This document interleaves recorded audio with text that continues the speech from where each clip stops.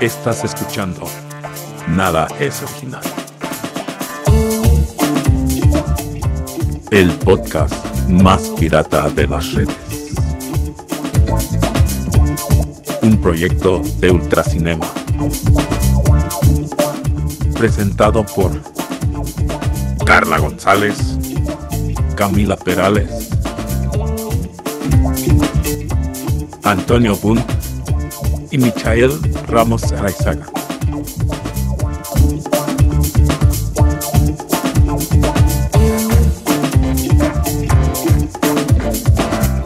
Nada es original.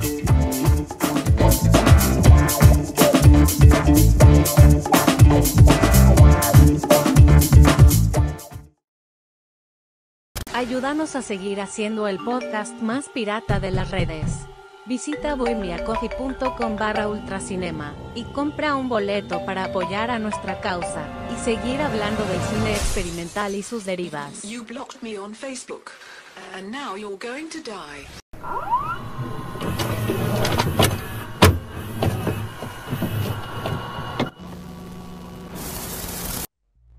Hola, ¿qué tal, gentes bonitas del internet? Esperando que se encuentren muy, muy bien en esta emisión de eh, Nada es Original, el podcast más pirata de las redes, que hoy es un hito, hoy es un eh, programa interesante, importante, eh, que rompe con un paradigma. En un momento vamos a presentar a nuestro invitado del día de hoy, pero hoy es un programa sumamente especial, porque si ya hemos hablado bastante con la gente de nuestra América Latina, eh, ahora pues tenemos un invitado harto interesante que vamos a platicar con él. Pero antes, eh, mi colega y amigo Michael Ramos está aquí conmigo para conducir, co-conducir este programa. Hola Micha, ¿cómo estás?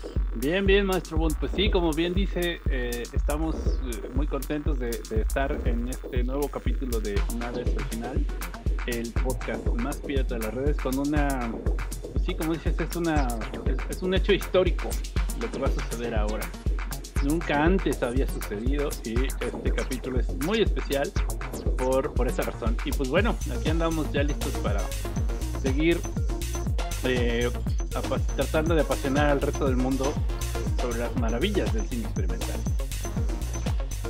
Y, y es justamente lo que, lo que queremos hacer porque hoy va a ser nuestro primer programa en inglés. Entonces, Spanglish, digamos que en Spanglish. Eh, pues bueno, eh, vamos Porque- a ver cómo podemos, cómo lo, cómo lo, lo logramos, pero pues tenemos la presencia de Abinadi Mesa. Eh, hi Abinadi, how are you?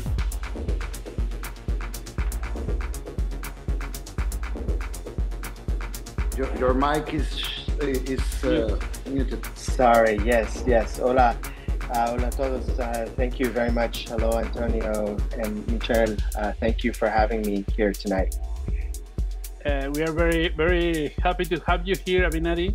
And let me tell you that this is our very first uh, uh, podcast. We are going to speak in English because how we are most dedicated and devoted to speak with the Latin American uh, uh, filmmakers, and we are most uh, do everything, everything in Spanish.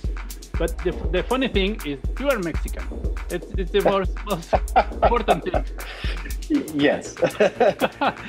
uh, yes, you know, well, uh, you know, I'm sure my story is common, like, like you know, uh, so many uh, uh, children of the diaspora. You know, my father left Mexico in the 70s and uh, came to the United States, and um, he met a, an American woman, and uh, you know, um, the rest, as they say, is history.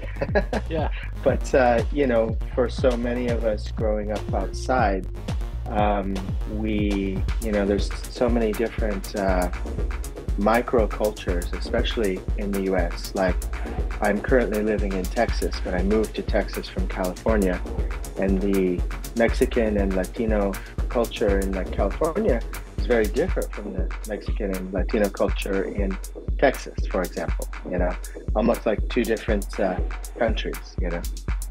yeah, experience the the not the difference, but the, the more or less environment of the Mexican people in, in when I was when I was there, and uh, even even for me as a Mexican trying to to relate in some way with Amer- the Mexican American people over there is, is strange in some ways. It's, it's, it's fascinating. It's fascinating. Anyway. Yes, it is. Yes, it is. Yes.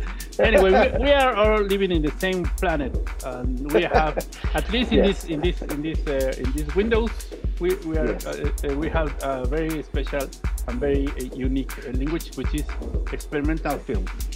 That we, we talk the same language when we are doing experimental film. So let's start about uh, t- talking about that. Yes. Okay. Perfect. So I have a, a, the very the very first question that I want to to ask you, Abinadi. It's about uh, your ex- your excellent movie. We uh, Time Crystals. We, we, we which had Time Crystals in the last uh, Ultra Cinema, and yes. I, I saw I, I, as, as far as I know, it, it had uh, like a, a, more or less a, a success in festivals and okay. I want to know where where do you where, when where do you get the, the idea to, to, to do this uh, great film sure. and uh, okay. And uh, if you, you studied uh, in CalArts if I don't uh, it's it's I studied in LA at SCI-Arc it's actually an architecture school okay um, Yes, um, but at this school I studied like media and experimental media, so that's that's kind of the connection. Yeah, because the, the question uh, uh, was uh, where where do you connect the dots to, to create uh, sure. a film like this? Okay, yes. Um, actually, Time Crystals is part of a series of films uh, that I'm working on. I have maybe three or four of them um, I think maybe I will have maybe four or five more by the time I'm finished.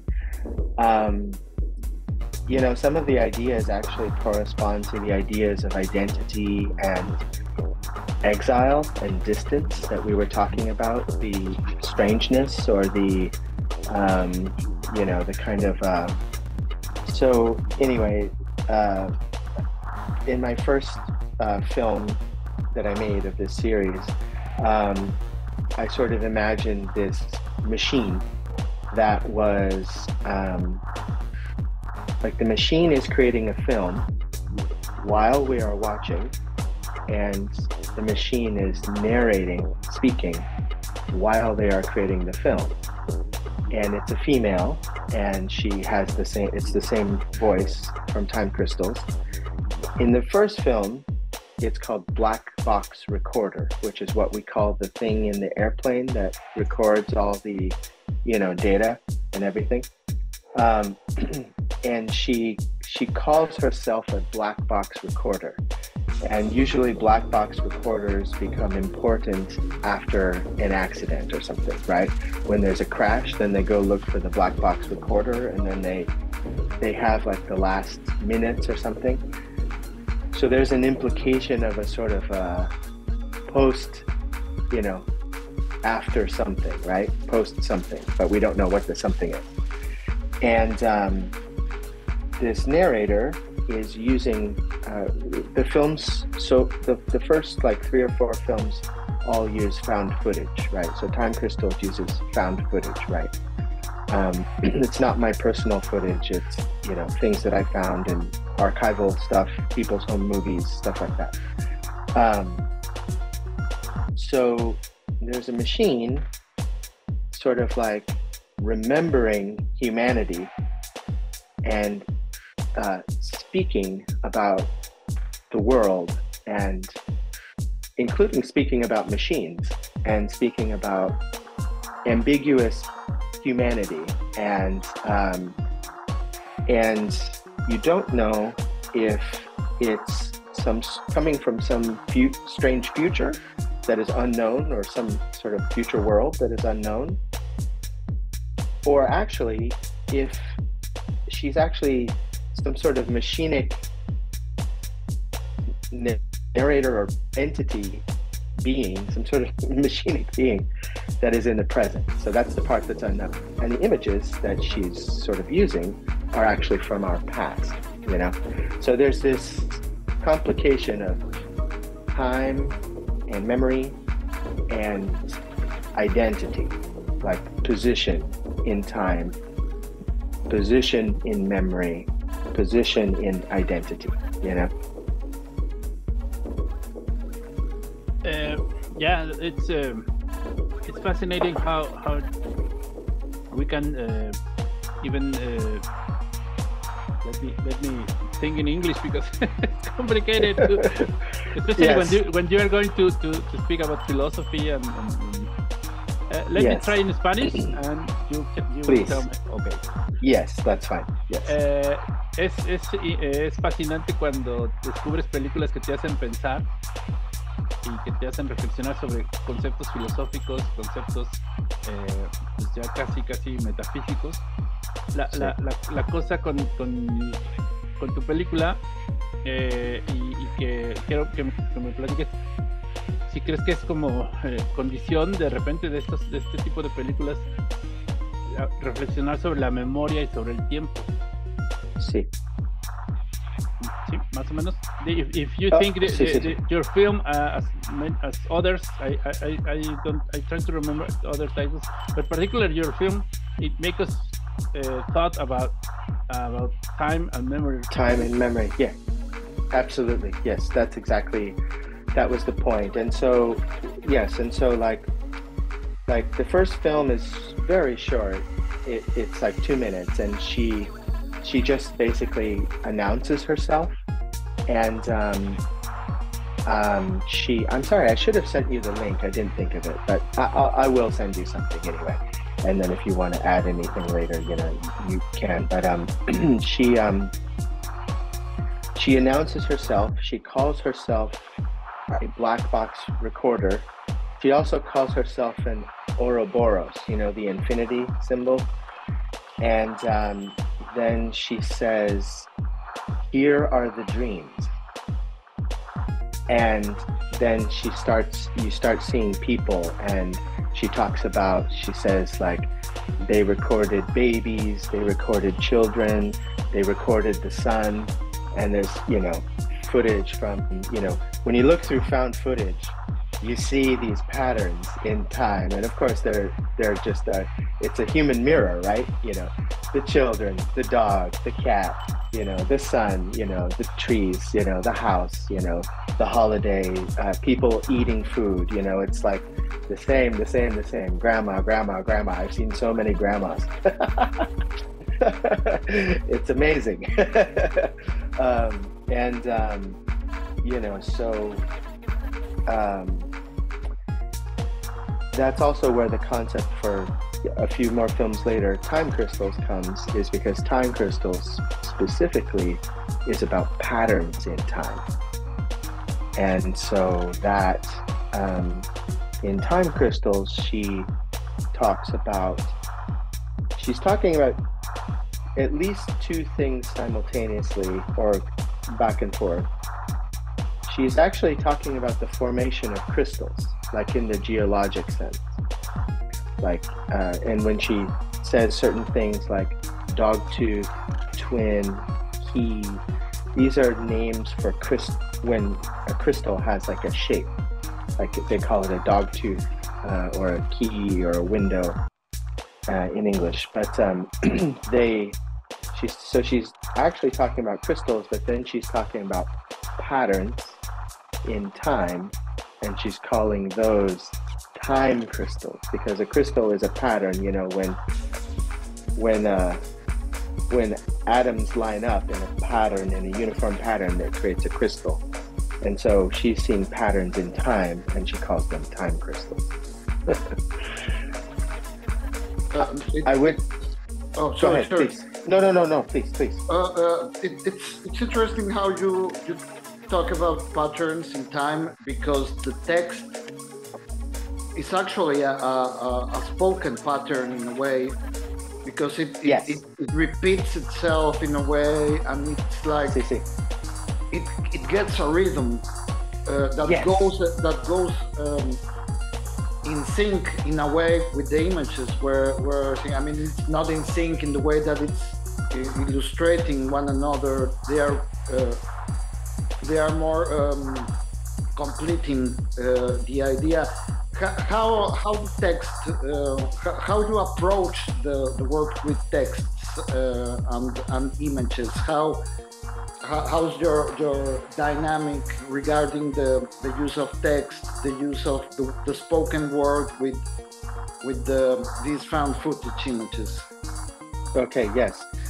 So to work with found footage for me, it takes a very long time because I'm looking through all kinds of stuff, as I mentioned.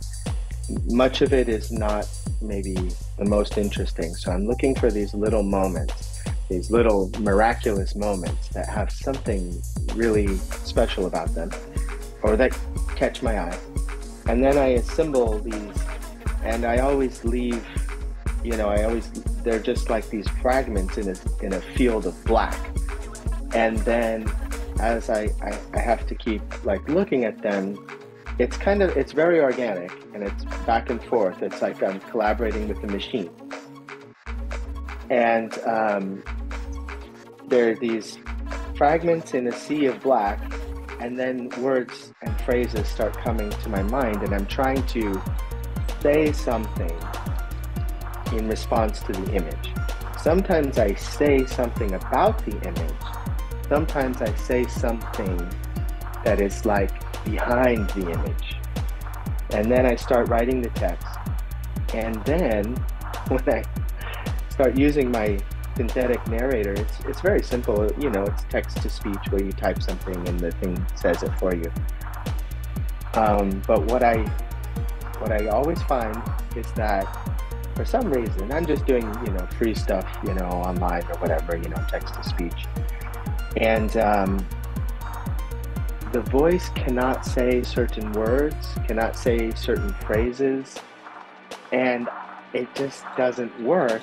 They can't say it, or they they speak it incorrectly or something, and then I have to rewrite the text, and I have to keep working. It's like working with an actor, maybe, where you you say like, okay, take two, take three, you know, let's try it this way, let's try it this way. Okay, let's change the wording, let's change the phrasing, you know so on and so forth. Um, for time crystals, um, I remember very clearly the very last line. When I was writing the text, my very first last line for the script was I didn't just dream it, I saw it. And I, at the time, I was happy with that. And I was having the narrator say this, and she could not say the last line, I saw it she would not say I.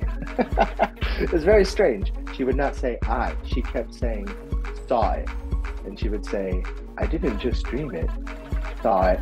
And I was like, okay, that doesn't work. that, doesn't work at all. That's terrible. And then I had to keep writing new lines that she could say. And then I came up with um, it was um, it was not just a dream.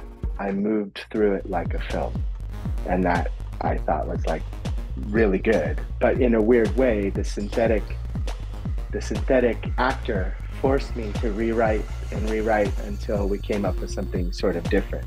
uh,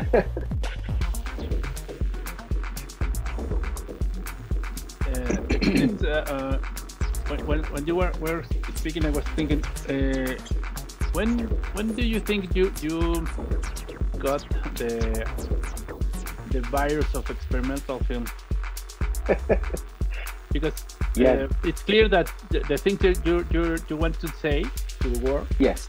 Yes. It, it's the only way to, to do it. You, you cannot do a regular film, a traditional film. Exactly. No, you can't. I, I agree with you. Yes, thank you. That's a that's an interesting point. I actually I never said that to myself, but as soon as you say it, I immediately know that you're you're right, and I, I agree with you. Um, I um, hey, that's a great question. Well, my studies are in art, you know, fine art, painting, and then I started doing performance and media, video, sound, all that. And so I guess like somewhere in there, I had teachers, professors, other artists. I started seeing experimental film, avant-garde, you know, European stuff, Chris Marker, you know, uh, Godard, you know, things like that and I saw these stories being told in these, uh, you know, non-conventional ways, you know, non-standard ways, and uh, just kept going from there. But you know, in a, in another way, um, I also think like um, in so in a certain way, I'm using like poor materials, you know, like because they're free or found or you know they're sort of like uh, leftovers, you know, in a way, and so when you gather those materials, it's I think that part of the challenge is to, to stop and think like, what can this material do? Right? So it's a both what what am I interested in and what are the right materials? And then as soon as I pick up some materials, I say, what are the capacities of this material? So for found footage, it's very rich in time, right? It's full of time because it's already come from a past and it has all these layers. And when we look at the found footage, we, I mean, when we look at people's footage, and this is specific to human made footage, I think, we, there's this unconscious, I believe there's this unconscious understanding of the eye behind the camera that's not, of course, present in the frame. In the future, I don't know what, what people's found footage will look like if it's drone and like, you know, the eye of God looking down, you know, captured by drones rather than by a human. But for us now, most of our footage from that comes to us through time has all been achieved this way, which is somebody, a human eye, wandering through the world and looking and you see every little movement when they look, you know, down at the dog, up at the window, over here at the woman, you know, uh, serving the food, you know, whatever. And so we know this story and we know something about the eye behind the camera. We know, we, we feel it, we read it, we understand it, even though it's actually not in the frame, but it's there. Uh, well, one of the, the images that caught my eye uh, was in fact something we don't get to experience uh, with home movies. Particularly the, the this shot for the building is on fire. Uh, yes. And it, and it clashes and it clashes with um, this like uh, people swimming and uh, water and then we see something we are not used to see in, in, in home movies. How, how you Yes, came across yes. these, these images? Yes, that was a very interesting uh, clip uh, that I found, and it, you know, it was like some people were on a vacation, and while they were on this vacation, there was this like accident. It looks like it's a factory or something, and they were, you know, so they they filmed the accident. You know, they filmed the the recording, and um, you know, it was like, yeah, it was very. It, it's it's very uh, by chance that it happened to be there, and I was looking through all this different footage. People uh, will film like uh, I found like little moments of like a car accident, or you know some you know j- just different things that you you know people now. I mean, are also recording these same things. It didn't change between like Super 8 and then you know smartphones. I don't think you know, when something happens, a lot of times people pull out the camera, you know. So I guess they were doing that in the 60s and, and 50s and 70s too. but um, the, um, but uh, you know, the, you know, it is it is kind of remarkable footage. These are uh, there's also imagery of uh, volcano uh, and the lava, you know, and and uh, I don't know if whoever shot that footage specifically went to visit this place where there was an active volcano, like in order to film it, or if they were just a tourist at this, you know, like Hawaii or Iceland or something, and they happened to fly over it or near it or something, you know.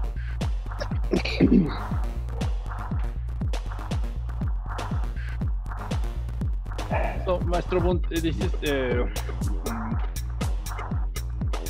this is a great film, and uh, what what can you tell to the to the ordinary people that is not ordinary people i mean ordinary ordinary filmmakers that are not uh, uh, doing stuff stuff with with found footage.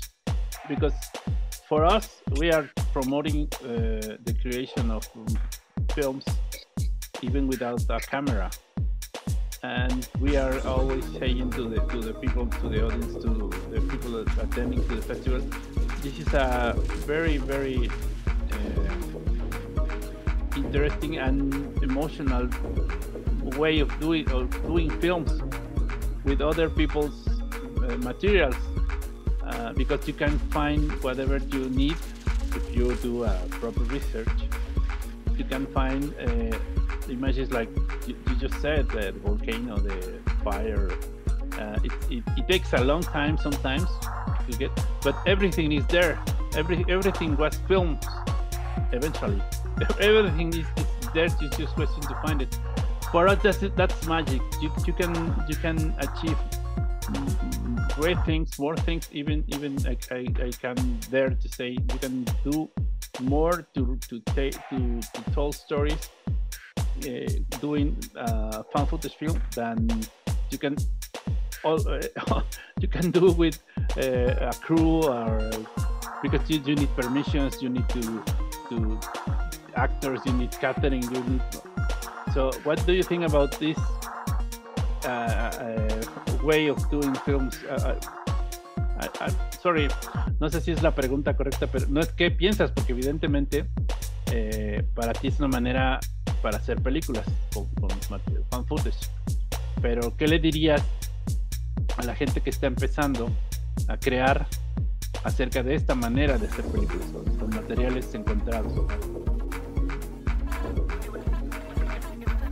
Um, yeah, it's amazing what you find in in there, but you you have to look, and it takes so long because you there can be just something that's like one second or less than one second sometimes, it's so like it uh, feels like a like a, a Greek curse where you're condemned to like look through the the, the residue of the world frame by frame and you you know see if there's something you know interesting. But um, yeah no it's amazing. You really can find everything and there are these beautiful layering moments where someone will be like using their super 8 and they're recording the something on the tv you know? And uh, you know so you have this beautiful layering of technology. You have this uh, you know like i was talking about this sort of chain of uh, desire where you know someone is desiring to record their world and then they are you know that includes some sort of media event that's happening on tv like there was one that had uh, you know um, something to do with like the space missions, you know, like to the moon, and they're they're watching it on TV, and then they're taking the Super 8 and recording the TV. You know, um, it's a very human. There's a it's like the humanity is kind of like amplified. You know, um, because it's not pre-planned, it's not a script, it's just it's just life. You know, and so they're um, they're really just following their eye and uh, you know those those yeah those moments are really great. Um, you know but like i say I, I do think that you know i have to try the challenge for me as the filmmaker is to really see what is possible from that material rather than like sometimes i have to like sacrifice an idea that i had in my mind or something i wish was there in order to really like pay attention and care for what is there. And I don't mean like treat it like in a precious way because I I don't do that. I just mean like you know not to um, I don't know not to like um, well you can't make it something that it's not you know but you can go pretty far.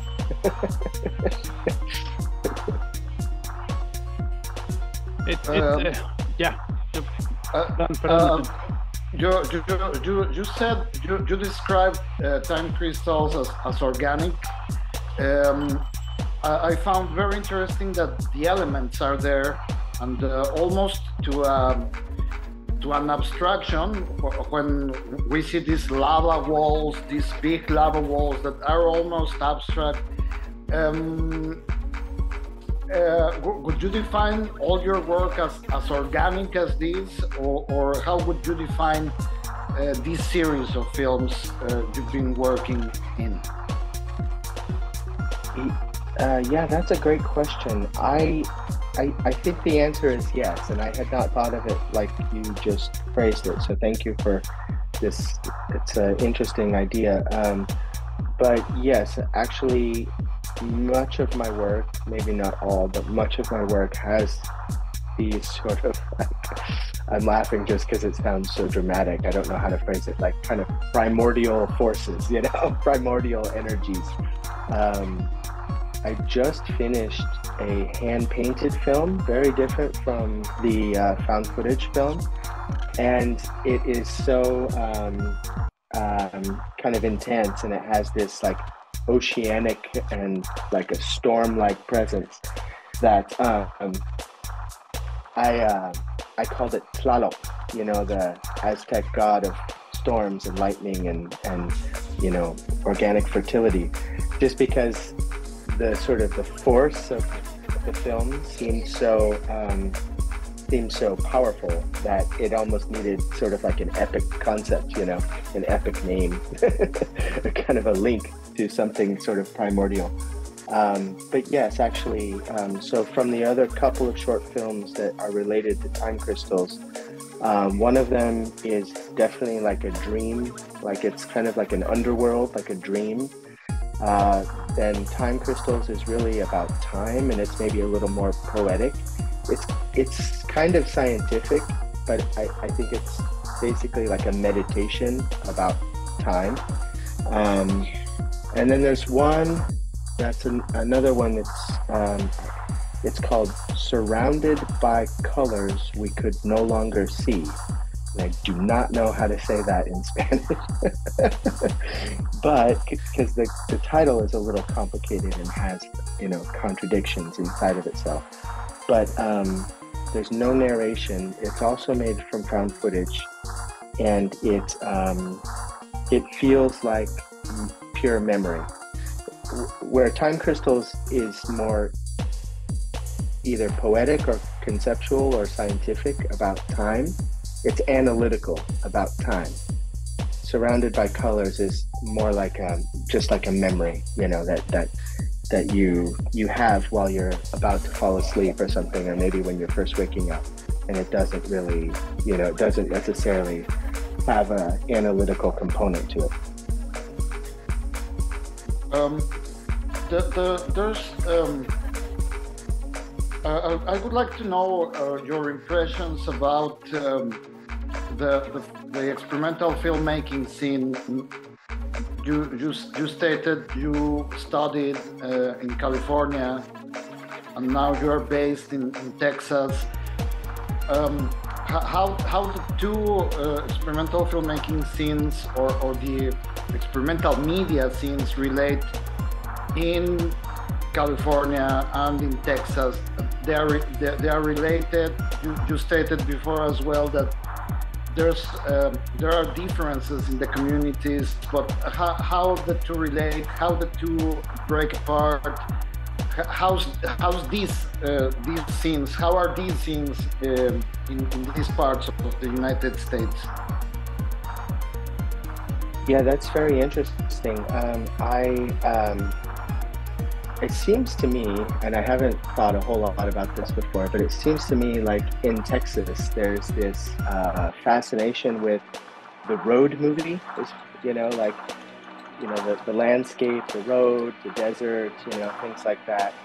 Um, and then in Austin, of course, there's a very big presence of like the, the music scene, and you know, there's you know festivals like South by Southwest and Austin City Limits, and so a lot of filmmaking becomes attached to also like music and stuff like that. In California, I think they have a more um, artistic, like as in like you know the experimental art, artistic sort of scene from you know from my experience and what I saw, and what I was aware of. Whereas, um, yeah, I think I don't know. I, I might be wrong, but here I think the presence of the land is uh, is much uh, more pervasive and prominent.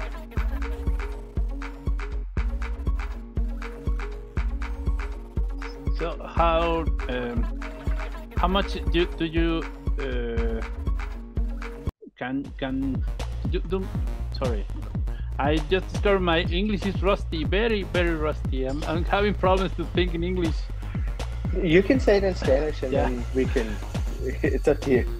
yeah, so um, la, la cosa es qué tanto conoces o qué tanto se escucha sobre cine experimental mexicano allá allá en Texas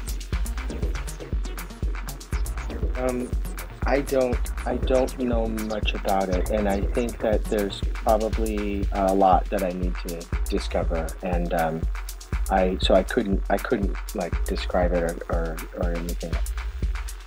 But it's, it's because you are like uh, working on your, your own stuff, or because there's no no no, no places to to, to to to know this because there's no presence of Um, Mexican films over there. Yes, I. You know, honestly, like, so I do work with like a kind of a cooperative like uh, film community here in Austin, but the truth of it is, like, I don't really know I know of like one other experimental filmmaker in the community, and almost everyone else is either doing things that are more commercial or more related to like music videos or things like that. So um, that's part of it. And then if you add in like the, you know, the Mexican question of, you know, the community is, then it becomes even more like, I think, smaller, you know. It, it could be that it's happening and I just don't know where, you know, I have not seen it.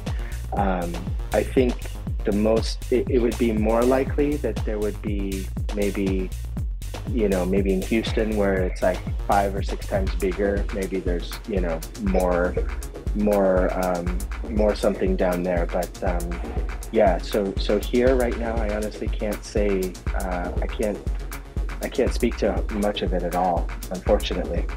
Uh, it's okay. It's okay. The- the- we do have a, we do have a great museum. Uh, it's a, it's called Mexic-Arte, and it's a Mexican American focused museum. It's one of the few in America. There's only like a handful, like maybe four that are specifically dedicated to Mexican American art. There's the Mexican American Art Museum in Chicago. There's Mexic-Arte in Austin. There's Museo del Barrio in New York. There's it's not specific to Mexican, but you know, um, but they do everything, including you know like the plastic arts and painting and murals and everything. You know, and I I don't. Uh, I think film makes probably the smallest portion.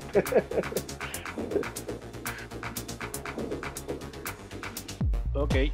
Uh, all, all, every every uh, chapter of the podcast, uh, Antonio has a surprise uh, question for our guest. So I hope Antonio is ready for for do it, do it, uh, do the do. Uh, sorry, I, I need to do, I need to do something. I need to, to practice my English even with uh, AI. What, what's your opinion about AI taking the world? That, that- that's exactly that's exactly my, my, my question because um, you, you were you were talking about this this like strange machine that that creates and it re, it reminded me a lot about this new uh, artificial intelligence that uh, is taking the world by storm. So, so it's exactly what, I was what, wanting to to ask you is We are how connected, do you feel about that? How how how does uh, uh, how, what do you think about this? Because it it it, it, it, it echoes the the, time, time crystals in, in a way, right? Absolutely, yes, it does. Well, let me. Um, wh- when you ask this question, a few things uh, come to mind.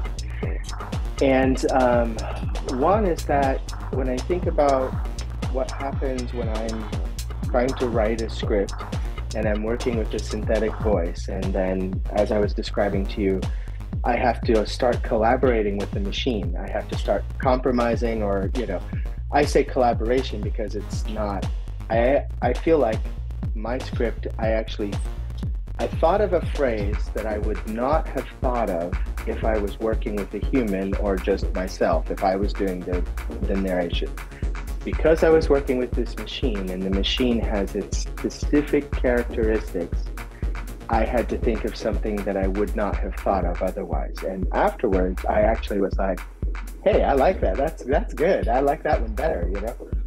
Um, so I feel like, you know, we're very. Uh, it's very human to think like, "Oh, who's who's in charge? Who has the power?"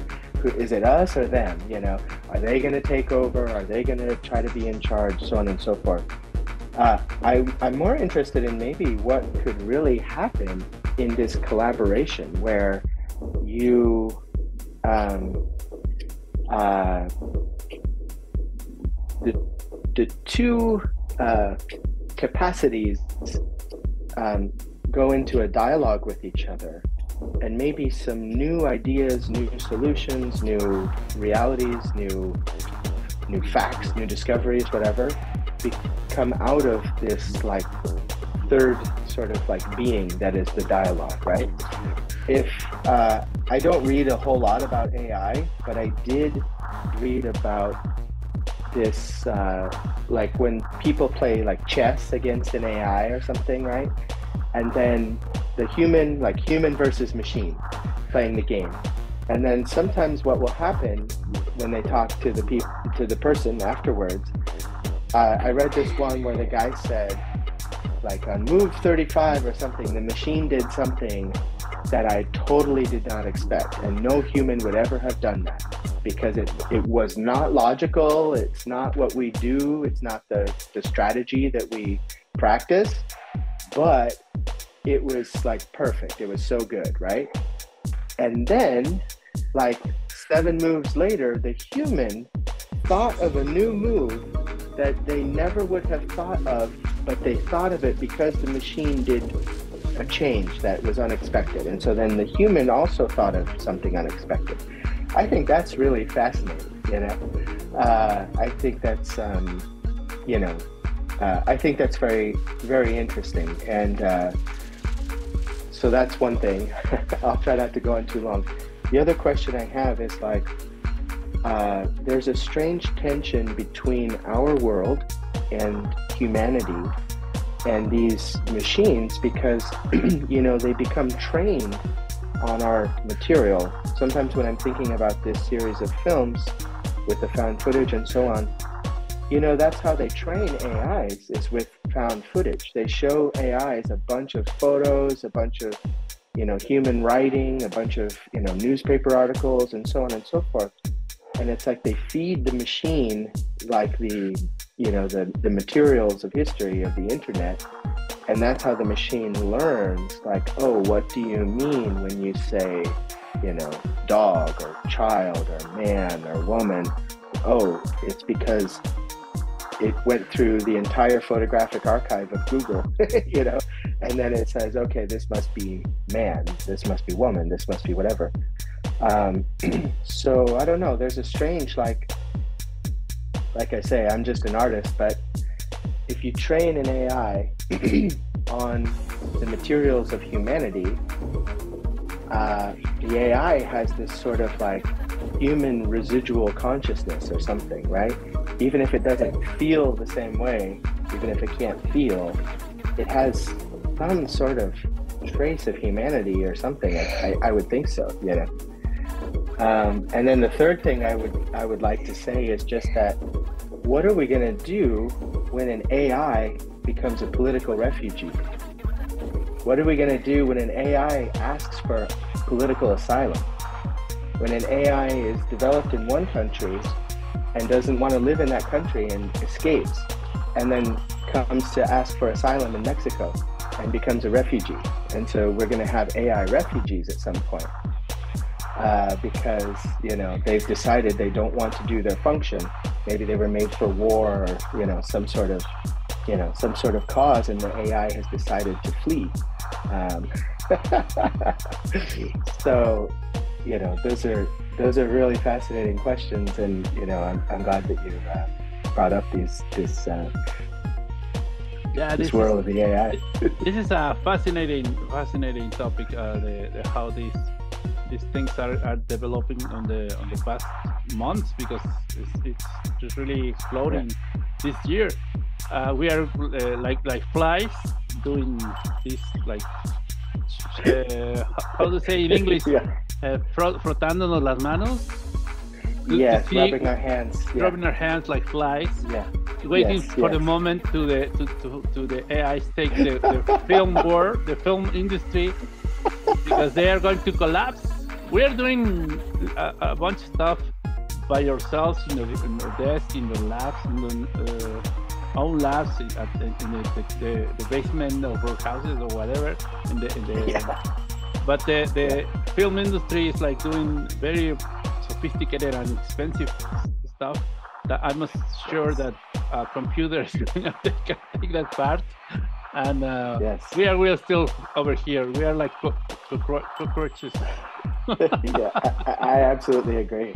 The deep fake thing is gonna, you know, it's crazy. Uh, the, the visual deep fakes, you know what I'm talking about? And then now they have vocal, you know, audio Yeah. where you can.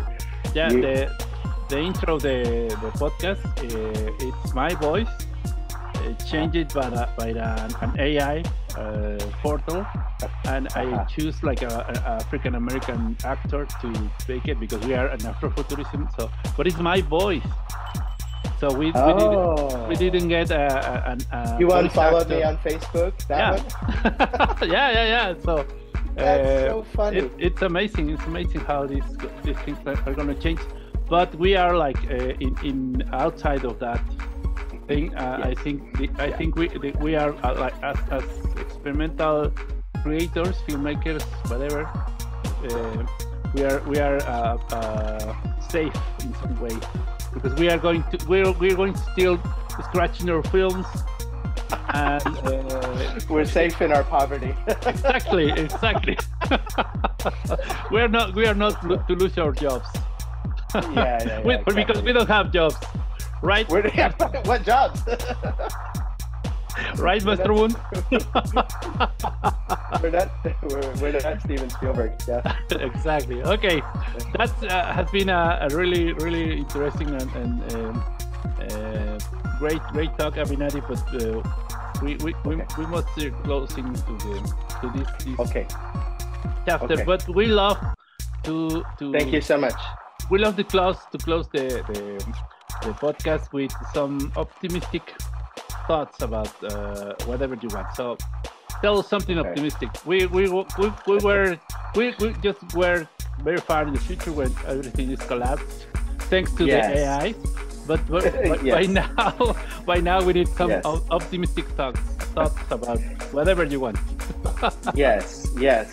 Well, maybe I'll go back to the found footage and I'll say that uh, if there's one thing that found footage confirms to me is that the world is amazing and there's beauty everywhere, even in the middle of, you know, in the middle of time, in the middle of life, in the middle of the day, in the middle of the night.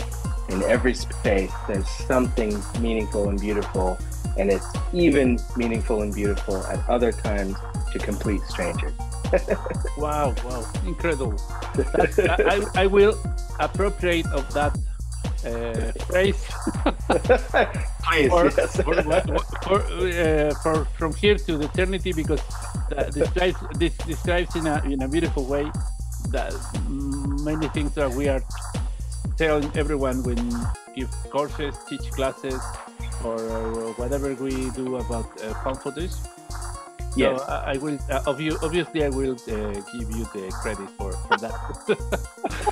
okay, thank and you. don't thank you, unfollow Renee. me on Facebook. okay. I'm not even on Facebook. uh, Maestro Thank Bunt, what, Antonio, what, what uh, what, did, Uh, what do you uh, want? uh, I would like to thank you, Abinadi, because this was a really, really interesting talk. You are our godfather uh, to our first um, English-speaking uh, uh, episode. So El that, that calls for some tequila shots or beer, or some beers whenever we see each Okay. other in some part of Yes.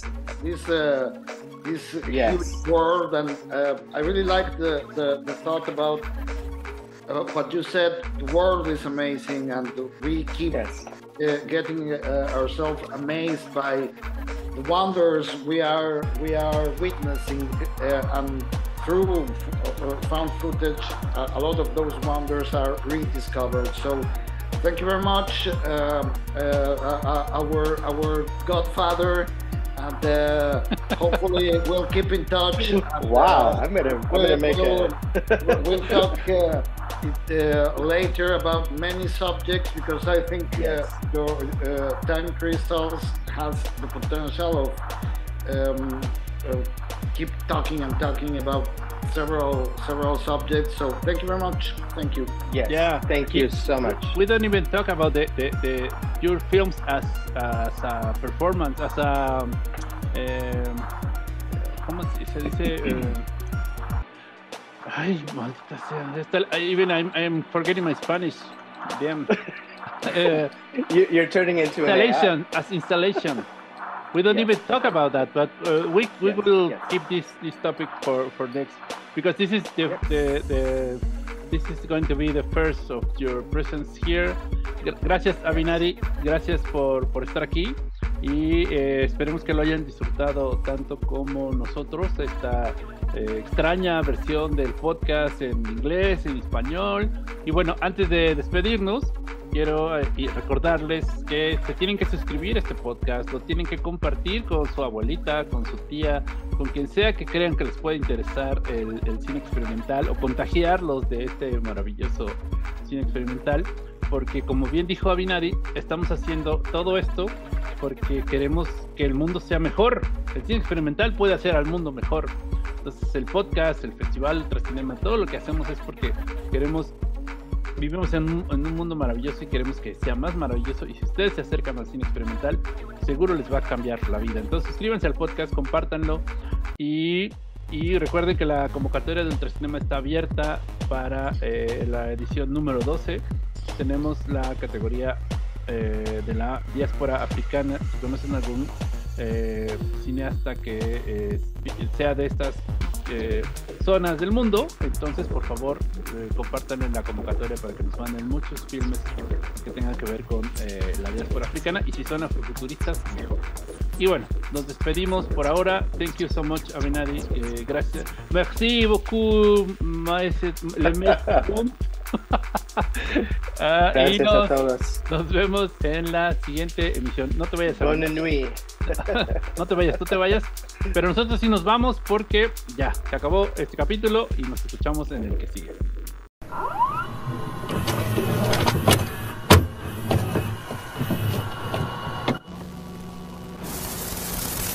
Ayúdanos a seguir haciendo el podcast más pirata de las redes. Visita bohemiacoffee.com barra ultracinema y compra un boleto para apoyar a nuestra causa y seguir hablando del cine experimental y sus derivas. You blocked me on Facebook, and now you're going to die.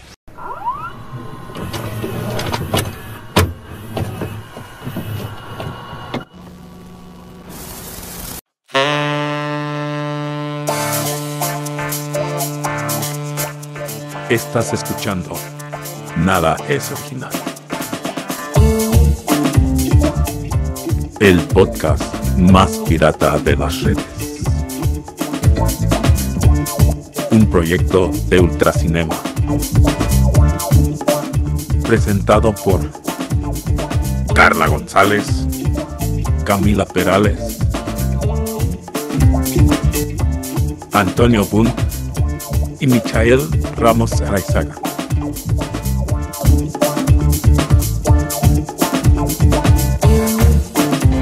Nada es original es una producción del Festival Ultracinema.